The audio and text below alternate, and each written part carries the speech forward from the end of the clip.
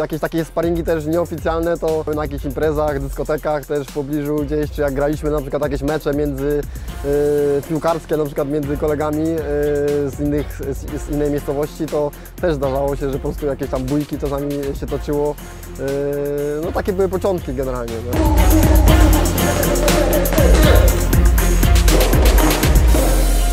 Moje zamiłowanie do boksu wzięło się stąd, że już e, w wieku 9-10 lat e, oglądałem filmy właśnie z Rokim, od Rokiego się zaczęło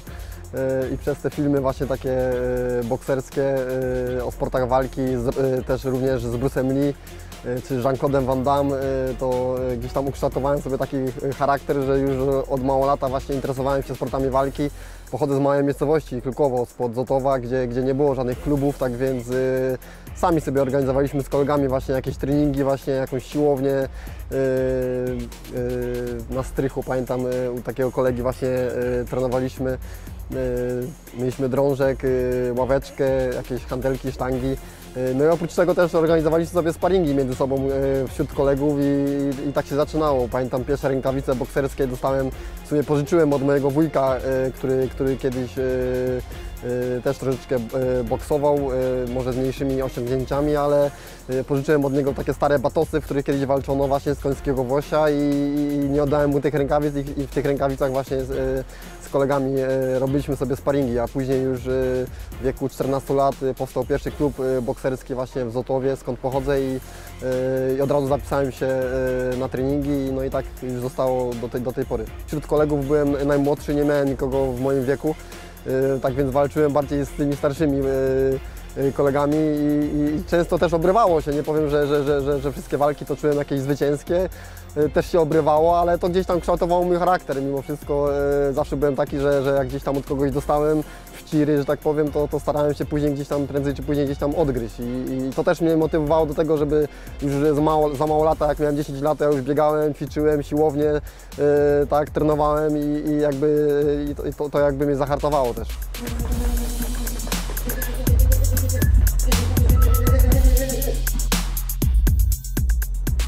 Często już chciałem kończyć karierę i wyjechałem e, do Norwegii, gdzie właśnie mam rodzinę też e, do pracy i, pracowałem e, tam fizycznie. Można powiedzieć, zostałem tam już prawie rok i mieliśmy w planie z żoną i, z dziećmi naszymi, bo już mamy dwójkę dzieci, zostać tam na stałe. Pracowałem tam razem z, z moim ojcem na farmie, na gospodarstwie rolnym, gdzie zajmowaliśmy się i krowami, świniami, ale przy okazji też, bo, bo, bo nasz szef e, tam w Norwegii właśnie miał firmę, stację e, maszyn rolniczych, tak więc ja, ja zajmowałem się dodatkowo jeszcze renowacją maszyn rolniczych, to była też dla mnie fajna praca na pewno. Niefortunnie też na jednej z hali właśnie, e, w której pracowałem na gospodarstwie, to wpadłem właśnie na, na taką dużą szybę właśnie, odgradzającą tam pomieszczenia właśnie w magazynie i przeciąłem sobie właśnie nerw łokciowy w okolicy właśnie tutaj e, kości e, ramieniowej. E, I ten wypadek był bardzo poważny, bo straciłem czucie właśnie w tej lewej dłoni. Do, do tej pory nie czuję jeszcze do końca e, małego palca, ale od razu po tym wypadku, e, po dwóch, trzech tygodniach, jak to, jak to ja zresztą, e, zacząłem, wznowiłem treningi na tyle, ile mogłem i robiłem wszystko, żeby tą rękę wzmocnić. No i w szybkim czasie też stoczyłem już kolejną walkę zawodową.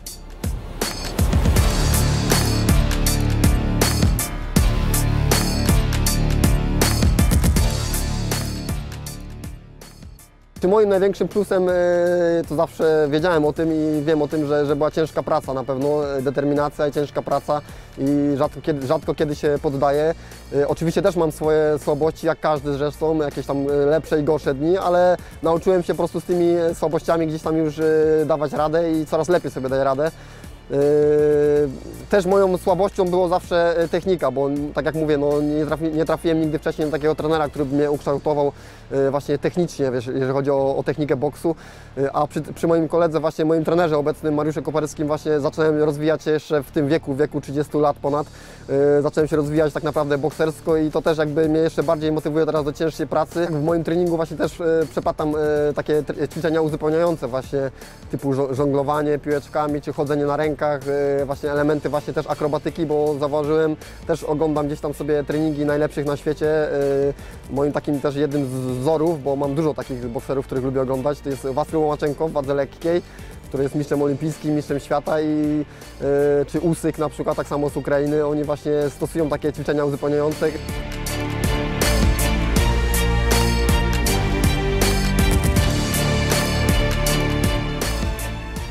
Skończyłem studia wychowania fizycznego i też studia generalnie też jakby już e, samo to, że robiłem studia, to jakby e, już podświadomie gdzieś e, robiłem to, bo- wiedziałem, że dzięki temu, dzięki, takim studiom nauczę się też metodycznie, praktycznie jak, jak właśnie przygotowywać się do swoich walk. A przy okazji też e, bardzo lubię, właśnie mam dobry kontakt e, z dziećmi i, i gdzieś tam ta praca właśnie z dziećmi też wiedziałem, że będzie mi pasować. Dostałem się do szkoły właśnie w Poznaniu, pracuję i też sprawia mi przyjemność ta praca z dziećmi, z młodzieżą. Mogę ich też, cieszę się, że mogę też czegoś nauczyć właśnie, być jakby wzorem teraz też dla, dla, dla, dla, dla, takich dzieci, dla, dla młodzieży jako mistrz Polski i, i udaje mi się to. W pracy właśnie w szkole właśnie też odpoczywam psychicznie powiedzmy gdzieś tam też troszeczkę od, e, od, od, od tego boksu, od tych, od tych przygotowań ciężkich. E, No mówię, jest to dla mnie też forma, oprócz tego, że to jest e, moja praca, to, to, to, to też jakby od, od, odpoczywam od, od takiej codziennej pracy na, na sali. Może nie urodziłem się w Poznaniu, ale mieszkam już większość swojego życia w Poznaniu. Utożsamiam się z tym miastem i z kolejorzem oczywiście. E, dopinguję kolejorzowi. Jak tylko mogę, to, to, to oglądam, śledzę i, i dopinguję, do, dopinguję kolejorza. E, tak, moim marzeniem, jednym z marzeń to jest właśnie stoczenie, takie to już uwieńczenie może mojej kariery byłoby, albo może nie uwieńczenie, ale, ale na pewno wielkim marzeniem byłoby stoczenie walki tutaj o pas mistrza świata właśnie na stadionie Lecha przy właśnie komplecie publiczności tutaj na stadionie. To było dla- mnie coś wielkiego i mówię o tym, bo, bo, bo to jest moje marzenie i trzeba o tym, o, mówić o swoich marzeniach, trzeba robić wszystko w tym kierunku, a ja właśnie robię też wszystko w tym kierunku, wspieram właśnie kolejorza i wiem, że, że, że, że, że kibice też będą mnie ws- wspierać i razem będziemy nawzajem właśnie sobie pomagać i, i, i prędzej czy później dojdzie do takiej walki.